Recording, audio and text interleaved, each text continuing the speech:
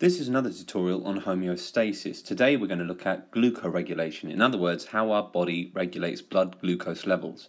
So, firstly, can you explain how blood glucose levels are controlled by our body? Then can you compare the causes and treatments for type 1 and type 2 diabetes? And finally, can you link the idea of body mass index to type 2 diabetes? So sugar is an important fuel for all living organisms, but that doesn't mean we can guzzle it down without any restraint. If we don't control our blood sugar levels, it can lead to serious problems. So why do we need to control our blood glucose levels? Well, firstly, if we have too low blood glucose levels, that affects our rate of respiration, that chemical reaction that gives us energy. If we don't have enough sugar or glucose for prolonged periods of time, we can end up in a coma, which can lead to death. If our blood glucose levels are too high, though, it can lead to severe dehydration, and if we don't basically dilute ourselves, it can also lead to death. Fast food restaurants are big fans of putting way too much sugar into their drinks, so they end up giving you drinks that will never quench your thirst, leaving you always wanting more. So let's say we've just eaten a food source which contains a lot of glucose. So glucose will flood our bloodstream. Now, this has an interesting effect on surrounding cells which contain water. Water will move to where the glucose is, and therefore our cells will start to become dehydrated. Now, obviously, our cells need water to transport all those chemicals needed for vital chemical reactions which keep us alive, such as respiration. Also, because now we have more water in our bloodstream, it can increase our blood pressure, which can lead to other problems. So watch this quick demonstration. Here I'm cutting an apple. The apple will represent our body cells. Now the sugar I'm putting on top will represent the glucose that's entered our bloodstream. Now using time-lapse camera, look what happens. You can see water starts to leave the apple to dilute the sugar.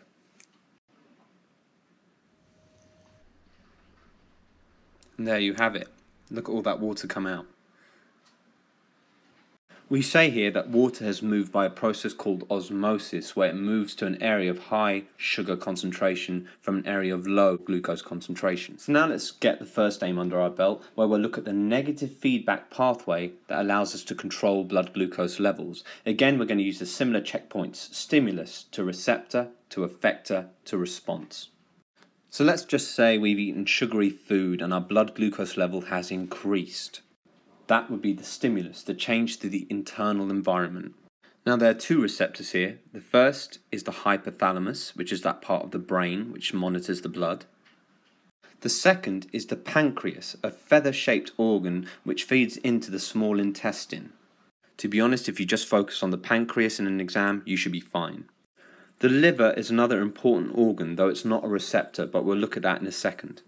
So the pancreas is the key effector here, and the pancreas will secrete a hormone called insulin, which you can see are these green triangles here. Now insulin's a hormone, so it's a protein. Now insulin has two effects. The first is it will bind to the protein receptors on cell membranes. So you can see here's the hormone insulin, here's the protein receptor which is embedded on the cell membrane that opens channels allowing glucose to enter the cell where it can be used for the process of respiration. So insulin binds to cells, allowing cells to take in glucose for respiration. Now there's a good chance we'll take in too much glucose for our body to actually deal with, so we have another solution. Insulin can bind to liver cells, that will allow glucose molecules to enter the liver where the individual glucose molecules are stitched together to make a long carbohydrate called glycogen. In the form of glycogen, the glucose cannot affect the process of osmosis and lead to dehydration. So insulin allows glucose uptake by the liver where it is converted into glycogen. It's important to note here that glucose is a carbohydrate and so is glycogen. The difference is glucose is a monomer, a single unit, but glycogen is a polymer, so that means many single units joined together or bonded together. The response is blood glucose levels fall. So now let's see what happens when blood glucose levels fall. So let's say you've been doing exercise using that glucose in respiration, so your blood glucose levels are going down. And if you're not careful, we could collapse as our glucose fuel runs low. Again, the pancreas is that receptor that detects the change in blood glucose levels.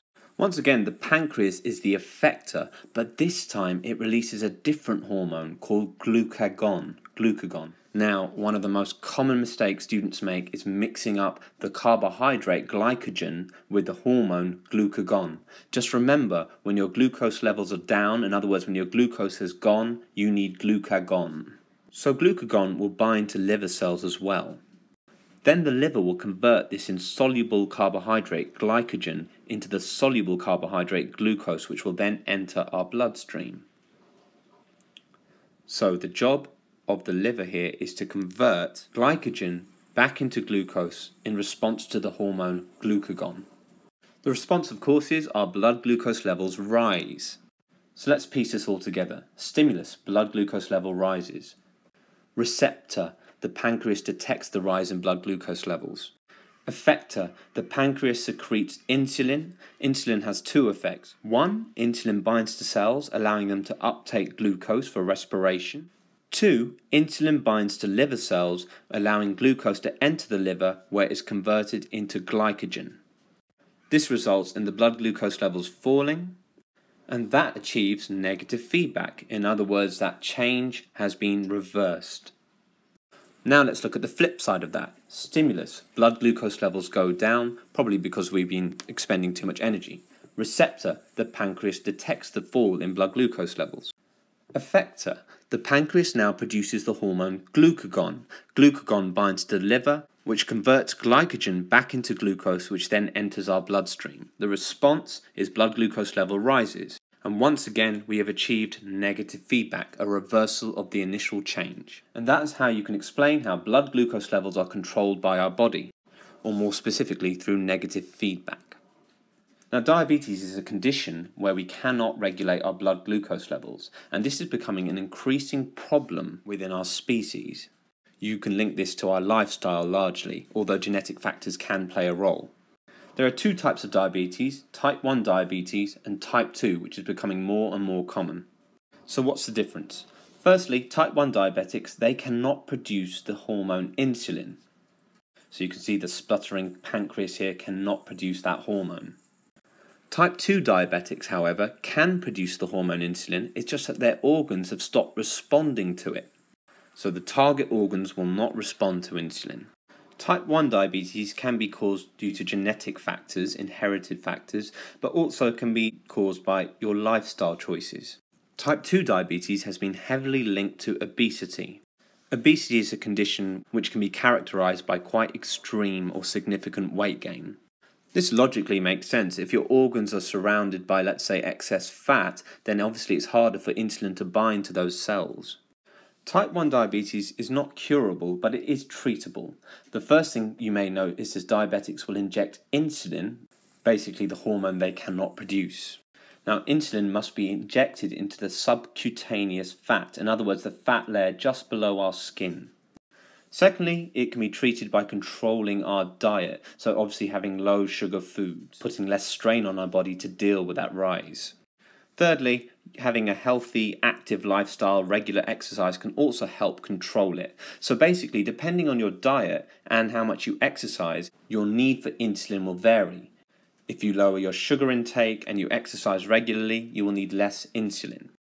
Type 2 diabetes, however, can be controlled and cured makes sense. If weight gain was the cause of your diabetes, then obviously losing weight will help. So, again, controlling your sugar intake and also uh, eating healthily, as well as exercising more, might mean you don't actually need to inject insulin at all.